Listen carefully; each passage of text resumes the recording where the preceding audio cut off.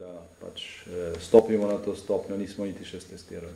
Pa se vam zdi, eh, da bi bilo v tem trenutku, ker razmere v koaliciji so zaostrene, zdaj se sicer nekoliko umirjajo, ampak se prihajajo na dnevne več tudi druge teme, kjer bo zelo verjetno uh, situacija podobna, recimo zdravstvena reforma, če bo do nje prišlo. Ampak uh, se vam zdi realno, naprimer v naslednjih nekaj mesecih, da se bi ustvarilo v javnosti in politiki tako ozračje, da bi bilo dovolj poslanskih glasov v državnem zboru za razpustitev državnega zbora in ponovno počasnih. Ja. Če bi takoj začeli razpravo o predčasnih volitvah, po mojem ne bi nikoli prišlo do njih. Zato sem jaz predlagal drugačno pot. Ne. Slovenija potrebuje razpravo o prihodnosti, o tem, kje smo in kam želimo. Te razprave pred zadnjimi volitvami iz znanih razlogov ni bilo. Tudi v teh dveh uh, letih mandata je ni bilo možno opraviti. Neka, neka struktura, kjer bi se ta razprava permanentno odvijala, to je to že omenjeno partnerstvo, ni bilo spostavljeno. Eh, posvetovanje pri predsedniku vlade, ki so bila v vseh prejšnjih mandatih v Sloveniji nek običajne, ko je šlo za takšne dileme, so v tem mandatu praktično izostala. Dobijamo se ob nepomembnih zadevah, pomembne pa so šle mimo, brez takšnih posvetovanj.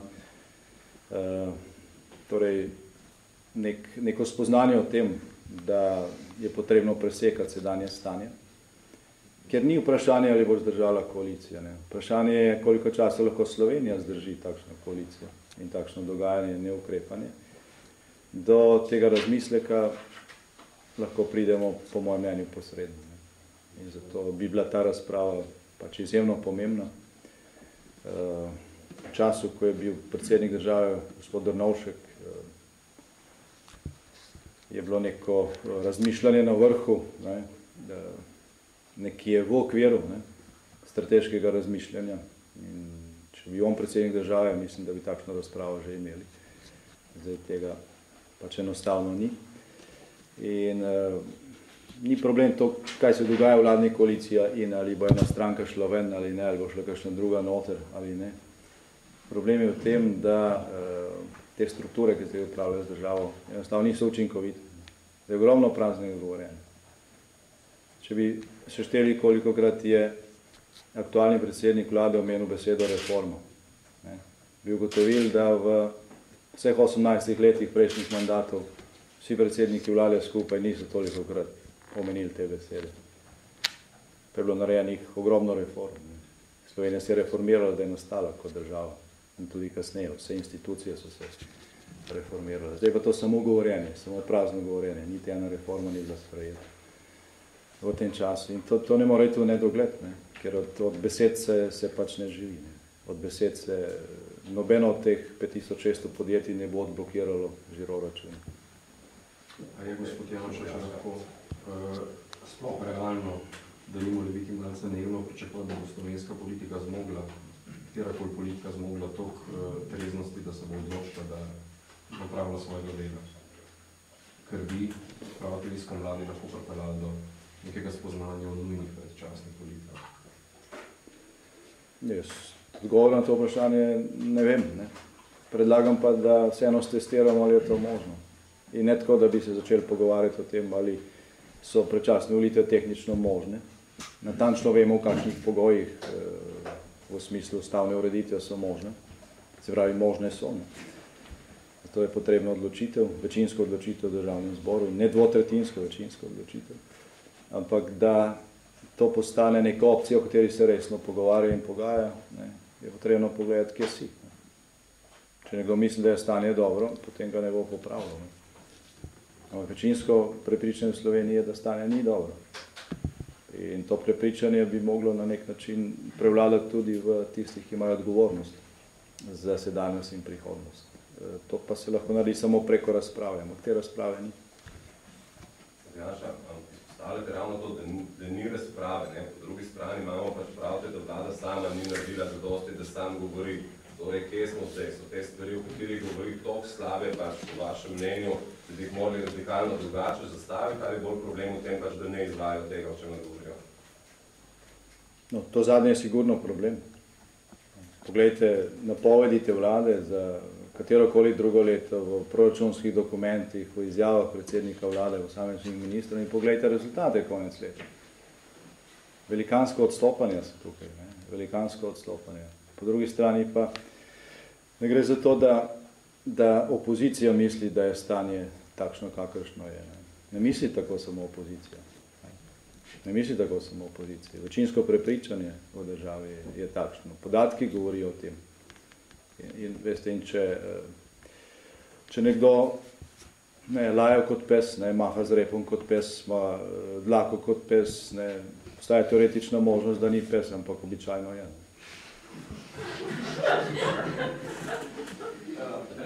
To bi vas vprašal, nek, nek presek afer koalicijskih, ki smo jih videli v tem mandatu, kaže, da je večina generirana nekako iz te bipolarnosti med Zaresom in LDS-om, ki sta pravzaprav nastala iz iste stranke. Pa me zanima je vaš komentar na to temo.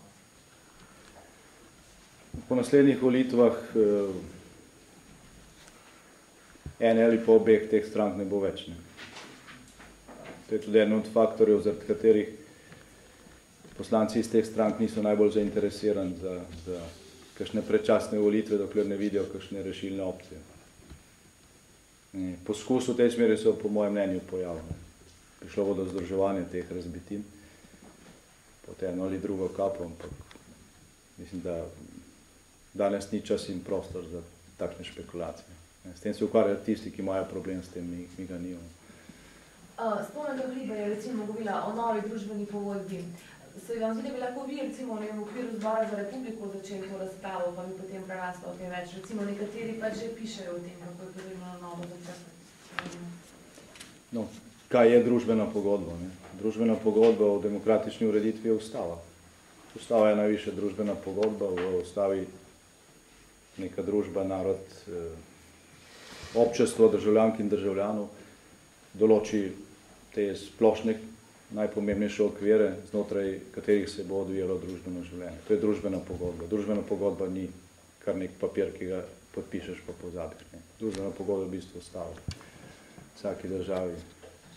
Ustava za drugo republiko je Slovenska demokratska stranka zapisala v svoj program na kongresu maja lani in na tem delamo.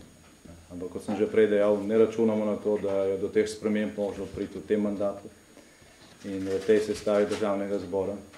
In tudi to razpravo, ki sem prej predlagal, jaz ne bi mešal z, z, z tem. Ne. Zagotovo se bodo ti elementi pojavljali, ker nekatere zagate, v katerih je Slovenija možno rešiti samo z ustavnimi spremembami. Ampak eh, mi najprej potrebujemo izhodno strategijo iz tega stanja.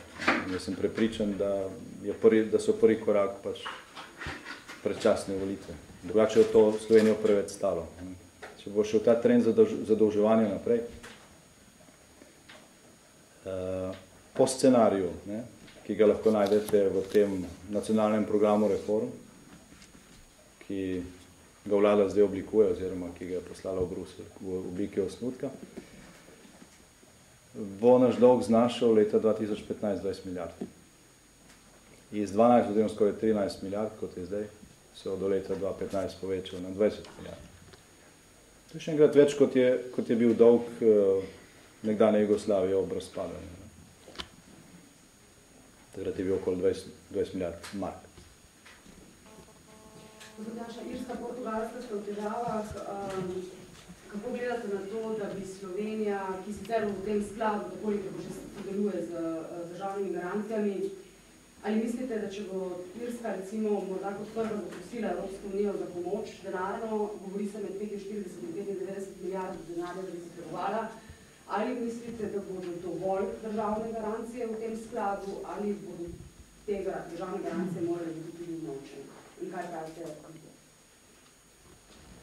V takšni poziciji, kot je danes Irska, je bilo v lanskem letu najmanj 5-6 držav Evropske unije, vendar večino teh ni bila članic evroobmočja. Zato takrat to ni bilo, niti niste slišali za, za te probleme. E, pri Jerski in pri Portugalski gre za e, skupno monetarno unijo, ne, za evroobmočje in seveda dogajanje v teh državah vplivajo na, na trdnost valute. Ne. S tem, da v tem, v tem trenutku e, se na tečaju evra ne, na mednarodnih valutnih trgih ta vpliv čuti relativno zanemrljivo. Ne. In se te besede o tem, kako je ogroženo evromoče in tako naprej, so rekel, del klasične eh, bruselske govorice eh, v situacijah, ko je treba države članice in njihovo javnost prepričati, da je, morajo kaj plačati. To govorico vsi uporabljajo in eh, izjemno nenavadno, kako se to eh, potem časih eh, s tem pretirava.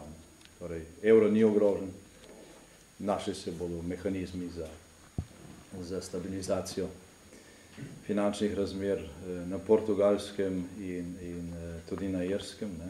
vendar pa, kot smo dejali mi že na začetku te grške krize, eh, ni možno obravnavati ne, različnih delov ali Unije ali Evropske monetarne unije z ločenimi vatli. Kar se tiče Slovenije, ne, ker to, verjetno sem to politično vprašanje v Sloveniji, ne, kaj to za nas pomeni, bi jaz previden. Če se bo uresničil ta črni scenarij iz eh, tega Gasparjevega programa nacionalnih reform, ne, ki je zdaj poslan v Bruselj in bomo na 20 milijardah evrov zadolženosti leta 2015, ne, bo Slovenija blizu te situacije. Bo ravno tako dilema ali zaprositi za to pomoč. Zelo kmalo smo lahko v tej situaciji, če bo se bodo ti trendi nadaljevali. Res to slabo pač stane, če primerjamo javni dom državne, kot so pač že Italija zraven, Velika Britanija, pač so dosti, dosti bolj zadolženi kot Slovenija. Ne? 20 milijard je še vedno približno, smo na 60 odstotkov BDP-a. Ja, dve, dve razliki sta med nami in med Italijo ali pa Španijo. Ne. Prva razlika je ta, da so te države velik del tega dolga, eh, oziroma dolga v deležu bruto domačega proizvoda prinesle v evroobmočje, ker takrat in v Evropsko unijo. In se mi je pogledal skozi prste na, na samem stopu, na samem začetku.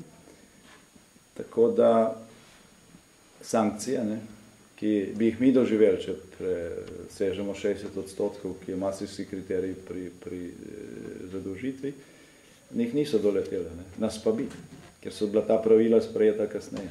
Skratka, posledice niso iste. Oni so prišli na, na to stopnjo zadolženosti, ne da bi jih kdo sankcioniral, nas pa bo. Pa Slovaško tudi, pa vse tiste države, ki so kasneje stopile v evroobmočje ali v pak stabilnosti in rasti, ki pa velja za celotno Evropsko unijo. Druga razlika pa je v tem, da je Slovenija majhna ekonomija, Italija pa velika.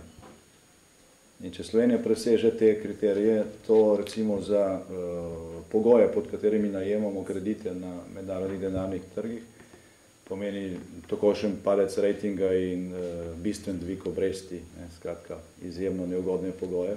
Pri Italiji ne, ker je zadaj večja ekonomija, ker so večje rezerve in se uh, pač ti kriteriji računajo uh, relativno. Ne. Tako da ne gre samo za neke nominalne, nominalne primerjave. Za nas je 60% eh, zadolženosti resnejši problem kot za Italijo 100%. Ne samo v psihološkem smislu, ampak tudi v, v rekel, posebnem finančnem smislu. Italija lahko dobi cenejši kredit ob večji zadolženosti kot Slovenijo v manjši. Še en komentar na, na brezposelnost. Pač je vlada isto podala nekaj številke, da je v bistvu stopna brezposelnosti pri nas dosti nižja kot pač v drugih članicah EU. Pa me zanima predvsem, ne kako to vidite, ampak kaj menite, da bi bilo treba storiti, da se ta brezposelnost zmanjšala? V bistvu, v taki gospodarski rasti, ki je zdaj načrtovana, bomo potrebovali 20 let, bomo pa zapustili te ljudi nazaj. No, pri brezposelnosti morate vedeti, da so tukaj tri kategorije. Ne? Eno je teh 102-103 tisoč brezposelnih, ki so uradno upisani v registr brezposelnih na zavodih za zaposlovanje. To je tukaj, po mojih ocenah, med 20 in 30 tisoč ljudi, ki so brezposelni, pa niso upisani v tem registru. Ker zato, da si kot brezposelni voden v registr zavodov za zaposlovanje, so kriteriji. Ni vsak, ki nima dela, tam upisan. Ne vedno so težave, ko skušamo pridobiti te številke, pravi, da natančne ocene ni, ker te, njih nihče ne šteje. se nekje zgubijo v, v, v tem trgu. Sem, če bi natančno zračunali, koliko je prebivalstvo v Sloveniji, koliko je zaposlenih, koliko je brezposobnih, bi dobili